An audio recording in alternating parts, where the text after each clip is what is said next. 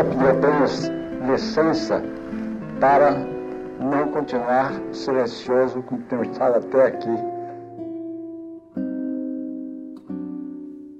Olha, o Herman Lima ele tem uma importância muito grande para a cultura brasileira porque ele trabalhou em várias frentes. Meu pai era um contador de história. Tudo isso ele ia guardando na memória. Foi um pesquisador que escreveu a melhor e maior obra sobre a caricatura no Brasil até hoje. Ele é um, é um grande estudioso e ele faz um trabalho profundo. Dá muita felicidade falar de um cearense é, de muito valor, um homem trabalhador, um homem íntegro, um homem correto, um homem humanista, um homem solidário. Era uma figura muito forte na nossa vida. Um homem que sempre cultivou amizades e sempre foi muito fiel e leal aos amigos.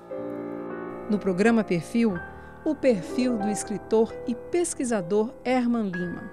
Sábado, 19 de setembro, às 20 horas, com reprise no domingo às 22 horas. Na TV Assembleia, a TV do nosso povo.